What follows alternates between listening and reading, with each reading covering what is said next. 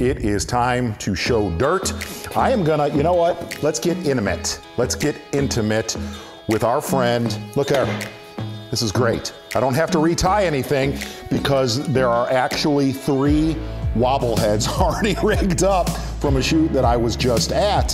Here, here's here's here's what show dirt's gonna be about today. Won't you do me a favor? Won't you get over here now? Oh my. Look at that. How they're built.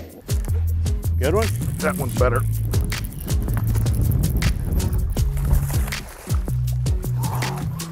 Okay, come on down. Let me show you something, friend. Come on down. Here's the beautiful thing is yesterday they got off that crankbait. They got off that crankbait big time and we started throwing this wobble head and that's all tungsten right there. A wobble head is a great, great weapon for covering water, okay? Covers water, gets bites, and it gets big bites. Big.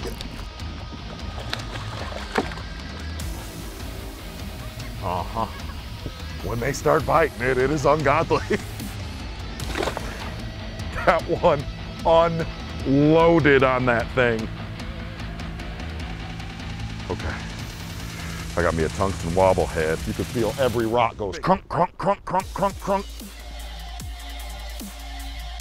This is critical. Number one, I don't care whose you buy, whatever wobble head you buy, get, as long as it's tungsten. If you use lead over a tungsten wobble head, you lose so much feel.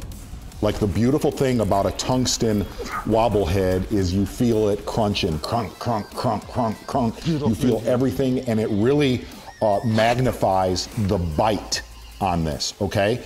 Look at that. Clear water, 17 pound rope. Look at that one, man, old fatty.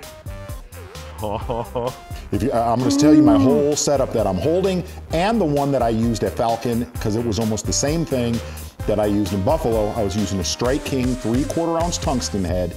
I use a beefy hook. I use a Trokar, either a 4-aught or a 5-aught mag worm hook um, to whether I use a, a standard Rage Bug or a Menace Grub.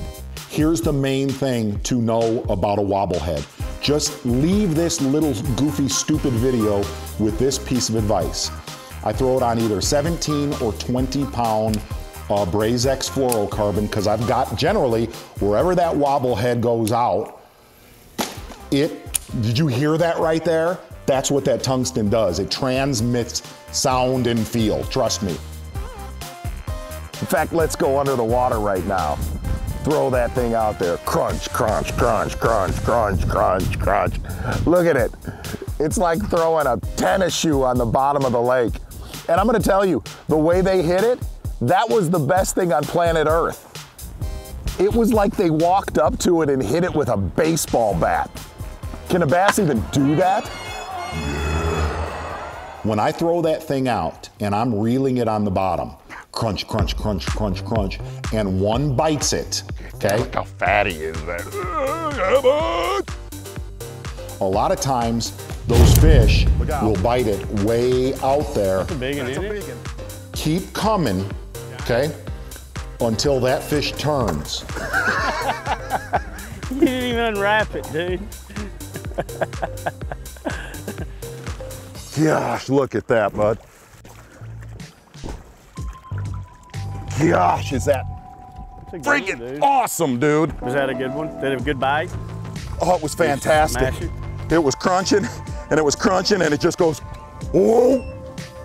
Now, the one thing about this is, if you look at that entire setup, a three quarter ounce tungsten swing head, that hook, and a Rage Menace grub under the water, here's the thing. If you go under the water right now and it's coming through those rocks, kunk, kunk, kunk, kunk, kunk, kunk, kunk, hey, what are you doing over there, little Menace grub?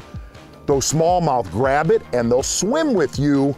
They got it, you feel it go tunk, don't hit them. I did that a few times. Here's what'll happen. You'll lose them. Because what happens is those fish come behind it and they generally swim with it for a foot or two, okay? A foot or two before they turn. And if you hit them while they're swimming towards you, you will miss a bunch of them. All right. The main thing, if you're looking at this footage right here, use a high speed reel, a seven or an eight speed reel, like this one right here. Launch that thing out there, and when one bites, if you want to know the dirt right here, wait till he turns before you bust his rear end. Oh my gosh. Yeah, man! Look at that. Are you kidding me? Woo! That is the dirt on a wobblehead. If you like this video, and we're going to be doing a pile of videos, hit subscribe and like, hit the little notification bell. You're going to get everything we uh, pretty much do on the road.